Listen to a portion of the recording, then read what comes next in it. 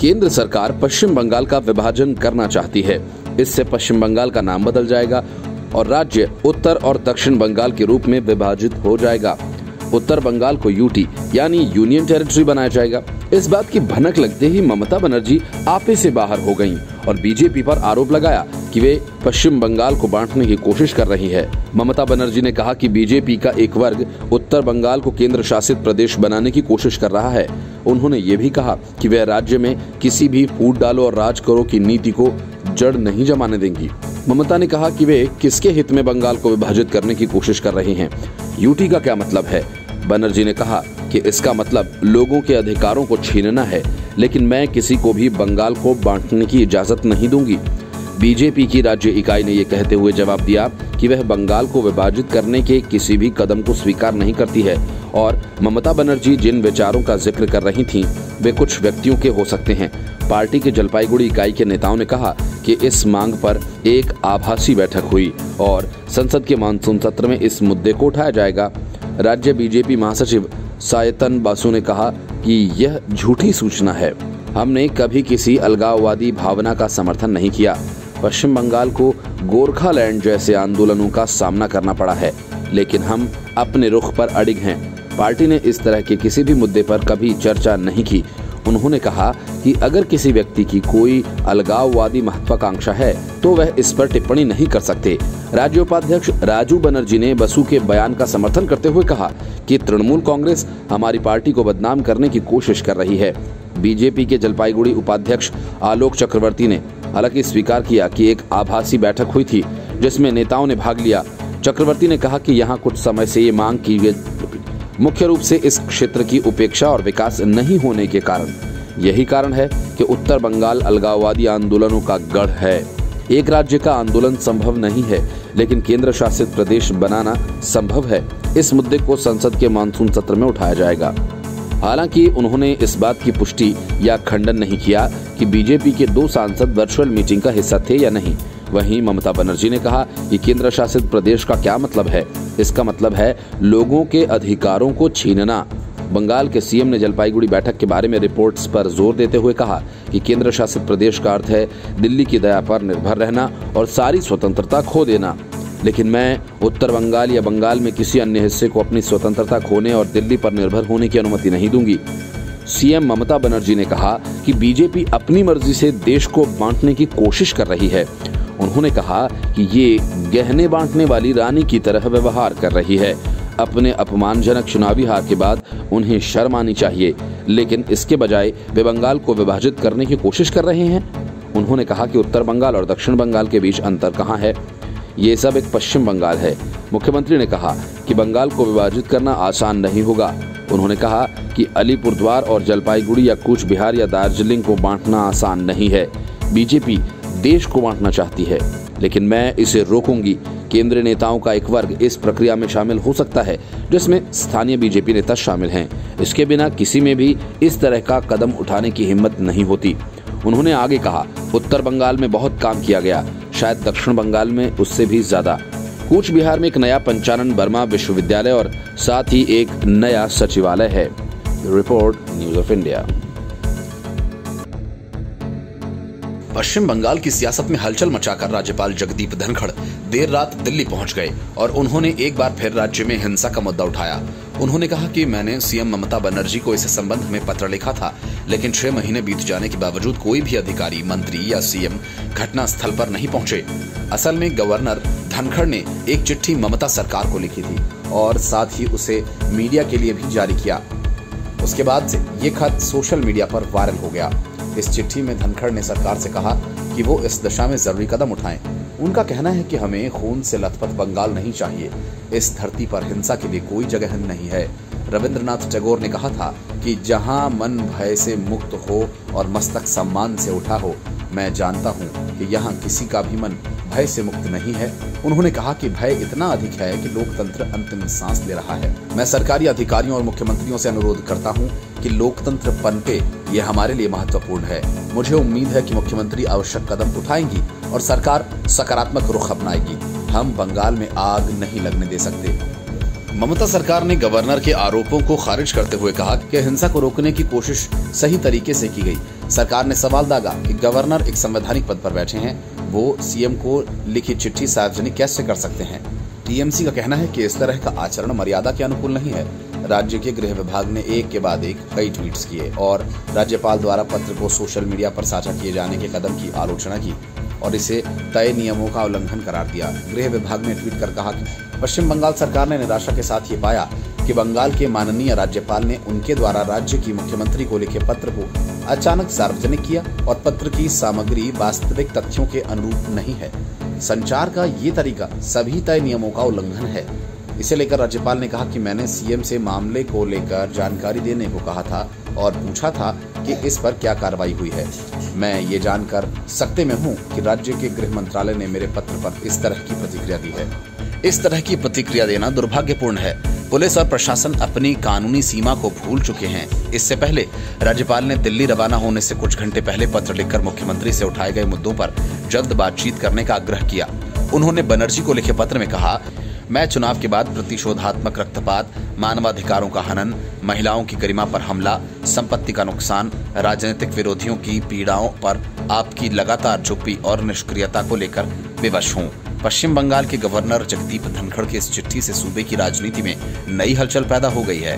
पहले से ही एक दूसरे के जानी दुश्मन बनी बीजेपी और टीएमसी के बीच इससे खटास और ज़्यादा बढ़ गई है। इससे पहले बीजेपी नेता शुभेंदु अधिकारी ने बंगाल में विधानसभा चुनाव परिणाम सामने आने के बाद हुई हिंसा की घटनाओं को लेकर पार्टी विधायकों के साथ बैठक की थी। इसमें चुनाव के बाद हुई हिंसा की घटनाओं को लेकर सत्तारूढ़ तृणमूल पर आरोप चढ़ा गया था। इस बैठक के बाद शुभेंदु अधिकारी के साथ करीब 50 नेताओं ने राज्यपाल जगदीप धनखड़ से मुलाकात की और ज्ञापन सौंपा। राज्यपाल धनखड़ ने सीएम को चिट्ठी लिख डाली और उसे सार्वजनिक कर दिया। Bureau report, news of India. Uttar Pradesh के गाजियाबाद में मुस्लिम बुज़ुर्ग व्यक्ति के साथ पिटाई की घटना को सांप्रदायिक एंगल देकर बढ़ावा देने के मामले में योगी सरकार ने बड़ा कदम उठाया। सीएम योगी ने एक तरफ़ तो राहुल गांधी की ऐसी तैसी कर दी और दूसरी तरफ़ ट्विटर के खिलाफ एफआईआर दर्ज करवा दी। इस मामले में आठ अन्य व्यक्तियों के खिलाफ भी मामला दर्ज किया गया है। योगी सरकार ने सोशल मीडिया प्लेटफॉर्म पर आरोप लगाया कि उन्होंने झूठे दावे के साथ शेयर होती वीडियो पर कोई कार्रवाई नहीं की, जबकि आमतौर पर ट्विटर भ्रामक खबरों को मैनिपुलेटेड मीडिया कहता है। लेकिन इस मामले में ऐसा नहीं किया गया। और ऐसा पहली बार हुआ कि यूपी सरकार ने ट्विटर के विरुद्ध मुकदमा दर्ज करवाया हो। सरकार की शिकायत का आधार यही है कि पुलिस द्वारा सच्चाई बताए जाने के बाद भी ट्विटर ने इस वीडियो पर मैनिपुलेटेड मीडिया का टैग नहीं लगाया और भ्रामक ट्वीट को बढ़ावा मिलता रहा। इसके पहले उत्तर प्रदेश के गाजियाबाद में बुज़ुर्ग मुस्लिम व्यक्ति की पिटाई मामले में धार्मिक एंगल की बात को गाजियाबाद पुलिस द्वारा नकारे जाने के बावजूद राहुल गांधी ने इस पर श्रीराम का नाम लेकर ट्वीट किया। इस ट्वीट को देख उत्तर प्रदेश के मुख्यमंत्री योगी आदित्यनाथ उन पर भड़क गए और उन्होंने बताया कि कैसे राहुल गांधी झूठ फैलाकर मानवता को शर्मसार करने का काम कर रहे हैं। राहुल गांधी ने गाजियाबाद की घटना पर अपना ट्वीट किया था। मैं ये मानने को तैयार नहीं हूँ कि श्री राम के सच्चे भक्त ऐसा कर सकते हैं। ऐसी क्रूरता, मानवता से कोसों दूर है और समाज व धर्म के दोनों ही के लिए शर्मनाक है। इस ट्वीट पर बहुत लोगों की प्रतिक्रिया आई। वहीं मुख्यमंत्री योगी आदित्यनाथ ने उनके इस ट्वीट का स्क्रीनशॉट शेयर करते हुए कहा कि प्रभु श्री राम की पहली सीख है सत्य बोलना, जो आपने कभी जीवन में किया नहीं। शर्म आनी चाहिए। पुलिस द्वारा सच्चाई बताने के बाद भी आप समाज में जहर फैलाने में लगी हैं। सत्ता के लालच में मानवता को शर्मसार कर रही हैं। उत्तर प्रदेश की जनता को अपमानित करना, उन्हें बदनाम करना छोड़ दें।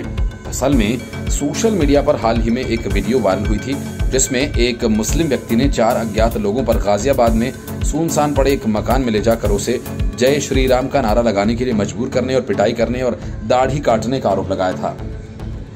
हालाँकि गाजियाबाद पुलिस ने कहा कि वह 5 जून को हुई इस कथित घटना में पहले ही प्राथमिकी दर्ज कर चुकी है, लेकिन दो दिन बाद 7 जून को पुलिस को इसकी सूचना दी गई। ज़िले के वरिष्ठ पुलिस अधीक्षक अमित पाठक ने कहा कि उत्तर प्रदेश में बुलंदशहर के निवासी अब्दुल समद ने अपनी शिकायत में इस तरह के कोई आरोप नहीं लगाए हैं, जैसा कि वीडियो में लगाए गए। उन्होंने बताया कि इस मामले में पुलिस परवेश गुर्जर नाम के एक व्यक्ति को पहले ही गिरफ़्तार कर चुकी है। जिसने आलिम के रूप में काम करने वाले समद से ताबीज लिया था। पुलिस के अनुसार सोशल मीडिया पर वायरल वीडियो की जब पुलिस ने जाँच की तो ये पाया कि पीड़ित अब्दुल समद बुलंदशहर से लोनी बॉर्डर स्थित बेहटा आया था। वो एक अन्य व्यक्ति के साथ मुख्य आरोपित प्रवेश गुर्जर के घर पंथना गया था। वहीं पर कल्लू, पोली, आरिफ, आदिल और मुशाहिद आ गए। वहाँ पर बुज़ुर्ग के साथ मारपीट शुरू कर दी गई। अब्दुल समद ताबीज बनाने का काम करता है। आरोपितों का कहना है कि उसके ताबीज से उनके परिवार पर बुरा असर पड़ा। अब्दुल समद गाँव में कई लोगों को ताबीज दे चुका था। आरोपित उसे पहले से ही जानते थे। Report, news of India. Sachin Pilot बड़ी शान से जयपुर से दिल्ली आए थे, लेकिन दिल्ली आते ही उन्हें गांधी वाड्रा के खेल का सामना करना पड़ा। पायलट से न तो प्रियंका वाड्रा मिली और न ही राहुल गांधी। वजह यह है कि सचिन पायलट की कमज़ोर नस का पता सबको चल गया है। इसीलिए पायलट अपनी अर्जी लेकर इस नेता से उस नेता के दरबार में महज हाजिरी लगा रहे हैं, लेकिन उन्हें ठीक से सुनने वाला कोई नहीं है। हालात यह है कि राजस्थान के ताकतवर नेता सचिन पायलट, कांग्रेस छीछा की वजह से एक मामूली पद लालुक नेता बन गए हैं, जिन्हें मंत्री पद चाहिए, संगठन में हिस्सेदारी चाहिए। यही वजह है कि पायलट की हवा धीरे धीरे पूरी तरह से निकल गई है और हक मांगने की जगह अब वे एक याचक बने पायलट गुट पर गहलोत के लोगों ने हमला बोल दिया है और गहलोत ने साफ़ कह दिया कि अगले दो महीने तक वो किसी भी मीटिंग के लिए उपलब्ध नहीं है। मतलब यह है कि गहलोत ने एक तरह से पायलट को जता दिया कि दो महीनों बाद अपनी अर्जी लेकर आए। तब सुनवाई की जाएगी। सूत्रों का कहना है कि सचिन पायलट अभी आलाकमान से मिलने का इंतज़ार कर रहे हैं। पायलट प्रियंका गांधी से मिलना चाहते हैं। सचिन पायलट को प्रियंका गांधी से मिलने का वक्त नहीं मिला है क्योंकि प्रियंका वाड्रा अभी शिमला में छुट्टियाँ मना रही हैं। सचिन पायलट पिछले पाँच दिनों से पार्टी आला कमान से मिलने के इंतज़ार में बैठे हैं, लेकिन आज तक उन्हें मिलने का समय नहीं मिला है।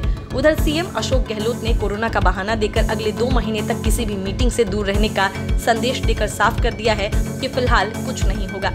इस बीच कांग्रेस नेता भवन लाल शर्मा ने कहा कि अशोक गहलोत राजस्थान के मुख्यमंत्री हैं। वो मेरे नेता हैं और सचिन पायलट को भी उन्हें अपना नेता मानना पड़ेगा। वही संदीप यादव ने तो पायलट कैंप के विधायकों को गद्दार तक कह दिया और कहा कि पार्टी से गद्दारी करने वालों की जगह हाईकमान को उन लोगों की बातें सुननी चाहिए। गहलोत गुट पर पायलट खेमे ने पलटवार किया है। पायलट खेमी की तरफ़ से कहा गया कि हमें गद्दार कहने वाले अपने अंदर झांके। दल बदलू नेता हमें न समझाएँ। पार्टी बदलने वालों को बोलने का हक नहीं है। कार्यकर्ताओं के मान सम्मान के लिए संघर्ष जारी रहेगा। आलाकमान से बात करने में बुराई क्या है? हम कार्यकर्ताओं का हक चाहते हैं। इस बीच बीएसपी से कांग्रेस में आए विधायकों ने भी तेवर दिखाए हैं। पूर्व मंत्री और उदयपुर वाटी से विधायक राजेंद्र गुढ़ा ने कहा कि सरकार में बदलाव होना ही चाहिए। विधायक मुकेश भाकर और राकेश पारिक ने कहा कि हम नहीं होते तो सरकार कैसे बनती? सरकार को बचाने वाले भी हम ही हैं। पार्टी के अनुशासन में रहते हुए हम अपनी बात कहेंगे। सचिन पायलट के समर्थक विधायक मुकेश भाकर और राकेश पारिक ने नकली कांग्रेसी और गद्दार के आरोप पर पलटवार किया। दोनों विधायकों ने आरोप लगाया कि किसी के इशारे पर उनके लिए अभद्र भाषा का इस्तेमाल किया जा रहा है। विधायकों ने जवाबी हमला बोलते हुए कहा कि हमें वे लोग गद्दार कह रहे हैं जो खुद तीन तीन बार दल बदल कर आए हैं। हमें गद्दार कहने वालों को अपने निर्वाचन क्षेत्र में जाकर देखना चाहिए कि जनता इन्हें क्या कह रही है। हम तो जब से जन्म लिए हैं, तब से कांग्रेस पार्टी में ही है। दोनों विधायकों ने बीएसपी से आए विधायक संदीप यादव पर हमला बोला। Bureau report, news of India. कभी इश्क फरमाते हुए पकड़े गए। अभिषेक मनु सिंधवी ने एक बार फिर ऐसी ओछी हरकत कर डाली कि उन्हें न्यायाधीशों की फटकार सुननी पड़ी। लेकिन यह सब सुनकर अभिषेक मनु सिंधवी को शर्म नहीं आई, बल्कि वे पूरी डिटाई के साथ मुस्कुराते रहे। असल में वर्चुअल मीटिंग्स और कॉन्फ्रेंस में भाग लेने वालों के पास ये ऑप्शन होता है कि वह फुल ड्रेसअप ना भी हूँ तो उनसे कोई सवाल करने नहीं आता। ऐसा कई नौकरी पेशे वाले लोग करते होंगे, लेकिन हाल में वर्चुअल कोर्ट की प्रोसीडिंग के दौरान वरिष्ठ वकील और कांग्रेस के दिग्गज नेता अभिषेक मनु सिंधवी को ऐसा करना भारी पड़ गया। कोर्ट की वर्चुअल प्रोसीडिंग के दौरान सिंधवी कैमरे में बिन पैंट के पकड़े गए। अधिनंगिक सिंधवी अलग अलग स्क्रीन का इस्तेमाल करके कई कोर्ट प्रोसीडिंग अटेंड कर रहे थे। ऐसे में उनकी एक स्क्रीन जो कलकत्ता हाईकोर्ट से कनेक्ट हो रखी थी, अचानक ज़मीन पर गिर गई। सिंधवी जो पहले सभी लोगों को सफ़ेद रंग की शर्ट में दिख रहे थे, इस स्क्रीन के गिरने के बाद पता चला कि उन्होंने ऊपर बस शर्ट पहनी हुई थी, जबकि नीचे वह बिना पैंट के सिर्फ़ शॉर्ट्स में थे। स्क्रीन के गिरने से सिंधवी का ये रूप प्रोसीडिंग अटेंड कर रहे हर व्यक्ति ने देखा। इस घटना के बाद न्यायाधीशों ने जहाँ सिंधवी के बर्ताव पर आपत्ति जताई, वहीं उनके प्रतिद्वंदी वकील जो उस दौरान अपनी दलील दे रहे थे, उन्होंने दबी मुस्कान के साथ अपनी बातों को कहना जारी रखा। कोर्ट सिंधवी के इस रवैये को देख नाराज़ हुआ और इस तरह डेकोरम को बिगाड़ने पर आपत्ति ज़ाहिर की।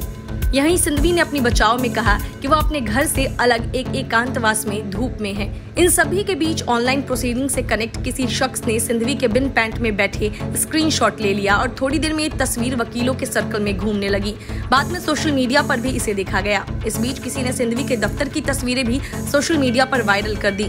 इसमें भी वो वर्चुअल कोर्ट मीटिंग में सिर्फ़ शॉर्ट्स और शर्ट में दिख रहे थे। उन्होंने कोई ट्राउज़र नहीं पहना हुआ था। सोशल मीडिया पर जैसे ही तस्वीरें वायरल हुई, लोगों ने इस बात पर गौर करवाना शुरू कर दिया कि ये पहली बार नहीं है जब सिंधवी को बिन पैंट के देखा गया हो। 2012 की एक घटना का ज़िक्र करके लोगों ने याद दिलाया कि कैसे वरिष्ठ कांग्रेस नेता एक महिला वकील के साथ प्रेम फरमाते नज़र आए थे, जो दिल्ली हाई कोर्ट में जज बनना चाहती थी। वीडियो की शुरुआत इसी से हुई कि जज कब बना रहे हो। उस समय एक सेक्स वीडियो वायरल हुआ था, जिसके बाद कांग्रेस ने उन्हें किनारे लगा दिया। जिसमें कथित तौर पर सिंधवी दिख रहे थे, जिसे कोर्ट चैम्बर के कैमरे में शूट किया गया था। हालाँकि उन्होंने वीडियो में होने से इनकार किया था। ऑनलाइन प्रोसीडिंग के दौरान ये पहला मामला नहीं है, जब किसी वकील ने डेकोरम का मज़ाक बनाया हो। पिछले साल राजीव धवन राजस्थान हाई कोर्ट की ऑनलाइन हियरिंग में हुक्का पीते दिखे थे।